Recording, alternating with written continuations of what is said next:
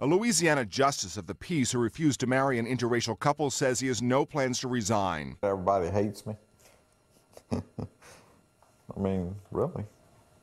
Um, and I don't know why. I mean, I, I, I treat people, you know, I figure equal, good. Keith Bardwell refused to issue a marriage license to Beth Humphrey, who's white, and Terence McKay, who's black. I have one problem with marrying mixed race marriages, and that is the offspring. It's disheartening.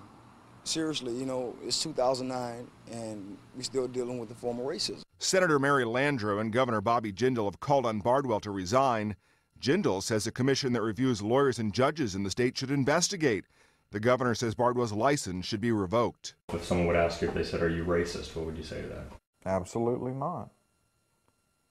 Um, my definition of as a racist is to hate black people or, or treat black people different than anybody else. The couple is looking into taking legal action against Bardwell. It's unethical to me because he's an elected official. He cannot do that. Humphrey and McKay were later married by another justice of the peace. Bardwell has served as justice of the peace for 34 years. His current term expires in 2014.